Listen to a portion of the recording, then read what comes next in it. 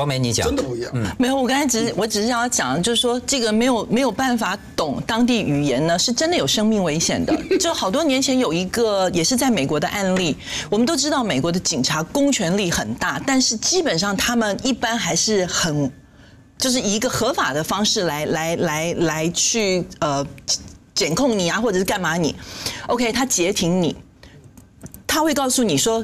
出离开你的车子，就我们看电对对对对离开你的车子，要不就是手摁在地上，要不就是手摁在车上，你一个指令一个动作。对但我们的本能反应就是说，那我为了要表示我是良民，我是有执照的，我可能要伸手拿我的驾照给你看，你一伸手完蛋，噼里啪啦这个就。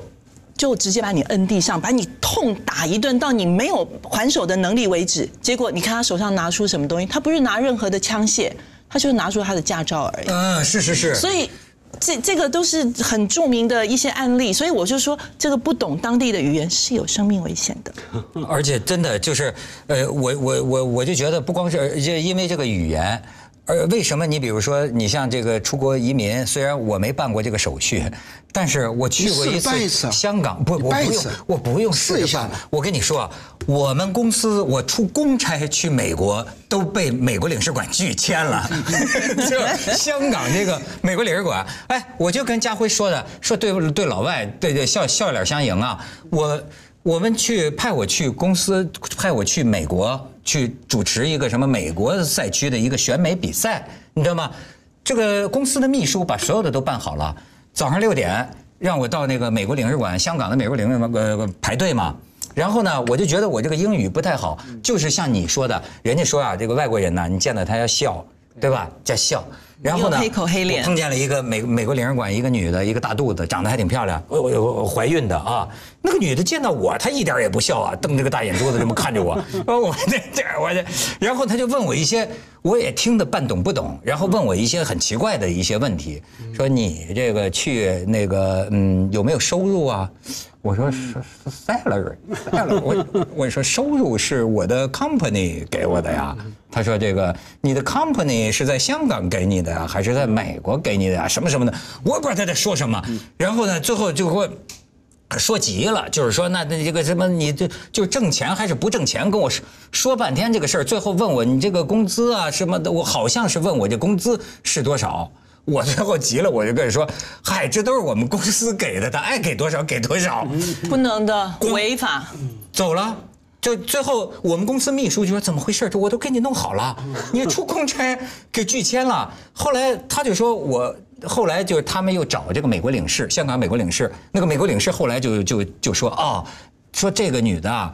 就是首先，他怀疑我动机不纯，他怀疑我要去美国打黑工，然后呢，说关键的一个怀疑就是说没有理由的冲他呲咪呲咪笑，因为谄媚，他是觉得心里有鬼。那我我跟你讲，我记得以前经常跟朋友讲，这种误会啊，可大可小嘛。我生平第一次去美国去夏威夷，就是差不多那种语言的误会、表情的误会，还有行为的误会。干嘛呢？我下飞机，你要检查行李，入境那个高大威武的白人警察哈，那个海关看我那个那个行李，然后瞄我几眼，我也是这样对着他笑嘛。我们看到老外都是笑嘛哈，哎，那这样这扎扎挤眉弄眼的这样笑哈，然后呢，他突然本来对我笑，突然不笑，凶起来，脸凑起来，呃，干嘛呢？然后还找了几个人过来把我抓进房间。搜身，全身搜，身体所有的部分你能想象的，他都搜了。那我无所谓嘛，我清白嘛，身正不怕影子歪的。大家搜完之后身体不清白了，没关系，因为我心里想，好啊，you ask for 的，你要求的，反正我坐完飞机那么脏，你要看就看嘛，这样。然后呢，搜完之后什么都没有嘛，清白，那出去，那老外也很好。那给我道歉说啊，抱歉哈，的给你带来麻烦。我说到底 What's going on？发生什么事啊？原来他指一下，说我行李里面有避孕套，发现有避孕套。他说啊，刚才丁 丁春秋卖的是吧？没用过，never 没 use，用过的 never use。但是你带的可你带的是 already 用过的。used。里面原来过程里面啊，我记得他检不是有有安全套呃犯法吗？不是，第一个我很年轻，第二个他那时候问我一句话，他说，我记得他收行李的时候问我，你有女朋友吗？啊、在美国有 girlfriend here，我说没有啊，这样。然后呢，他怀疑，原来他怀疑我用安全套来运毒，哦藏在身体什么地方？因为他说你没有女朋友，怎么会自己从香港过来要带着安全套带了100多个？那他没有就了解家辉的过，所以以后我都警告年轻的朋友过关要小心啊。所以你看，听上听这个移听民呢，你看我看这个字，这个侨外移民，其实中国人这个侨字啊是很有意思的。最早的是一个人，这个地方是那个桥，那个乔装打扮的乔，你晓得吧？对对所以你要移民的话，可能就是跑人家国家去乔装打扮，又伪装出来，哎所以有才有这么多问题，你知道吗？谁给你的这个植入广告？刚想死。丁老师今天能发财，我帮你要，我帮你要。哎，而且但是你你讲，对不起，就是说每，就是说我们刚才讲到，就是说当地除了语言之外，法律这件事情，我们刚才也有了一个很很重要的例证。嗯，你知不知道在美国？我不晓得你有没有带你的随从或者是助理去过美国？随从我听起来像个贵族是吧？他出门是十几个。我我就是鲁豫的随从啊。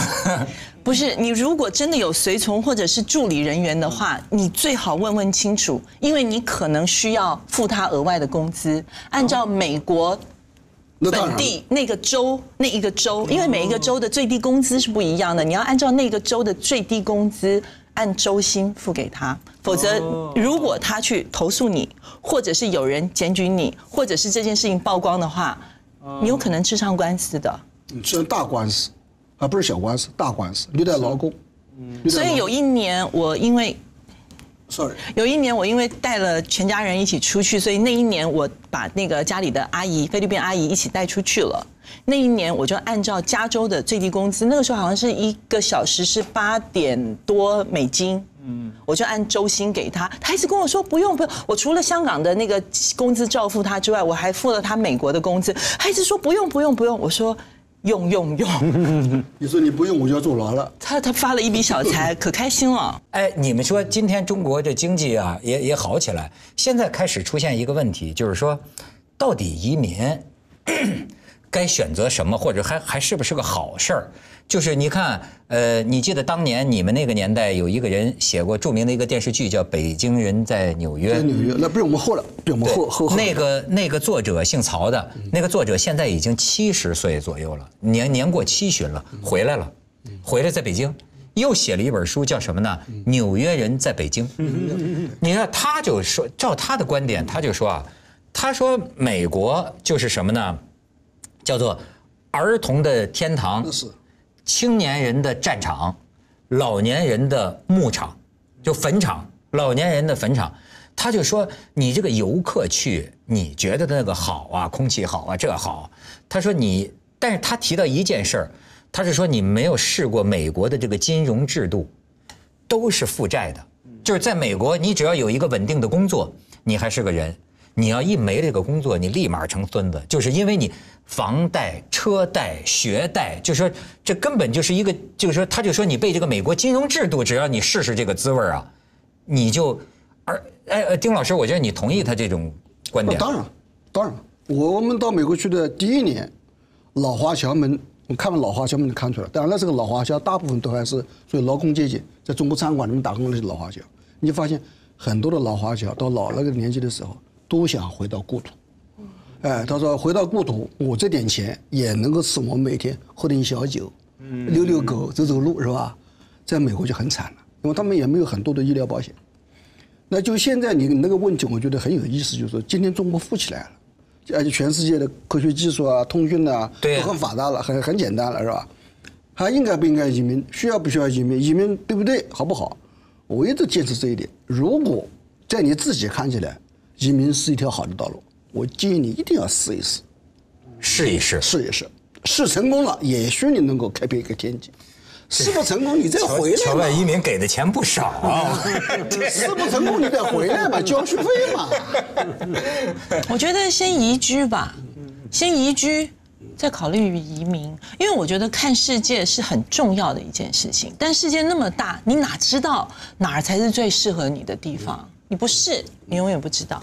我强烈建议，现在有本事的人不要听我们讲，哎呀，我明明年移民到英国、美国、法国、德国，这算什么玩意？全世界都人都知道。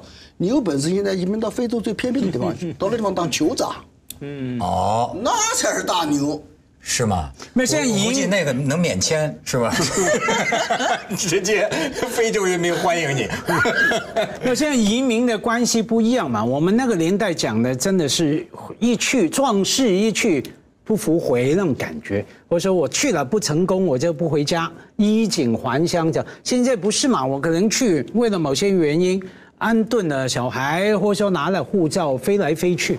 现在都是在城市跟国家之间飞来飞去，所以刚说，其实移民，假如不管叫移民、叫移民还是移居，有一段那个在外面生活的经验非常美好。对所以其实呢，我我现在觉得就是说，站在这个历史的高度上哈，就是有那么一句话，这个中国人呐、作为人口最多的这个大国呀，我已经看到过去是这样，现在是这样，未来也必然是这样。就是说啊，凡是有太阳照到的地方，都会有华人。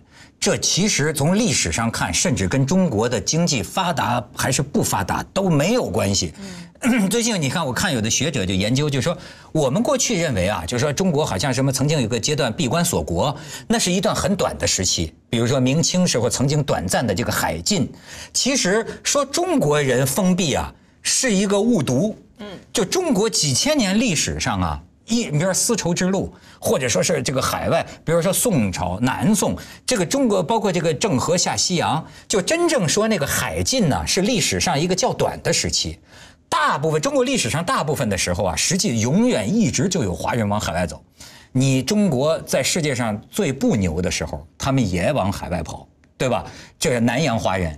你现在中国经济好了，他一样都往往往海外跑。所以说，我觉得基本上从这个历史上来讲啊，最后咱们这个遍布全球啊，是不成 是不成问题的事实，现在已经遍布全全球。已经遍布全球了。刚才说有太阳的地方就有华人移民，现在没有太阳的地方也有华人移民，就是北就是北极南极，北极、南极，呃，北极南极，我的没没葡萄好。没太阳吗？呃，那个地方一年大概哦八极极夜的时候哎对对对你像那个，实际上我，你像我们那个读书的时候，有一句话，我到现在也我印象都很深刻：一部人类文明史，就是一部人类移民史。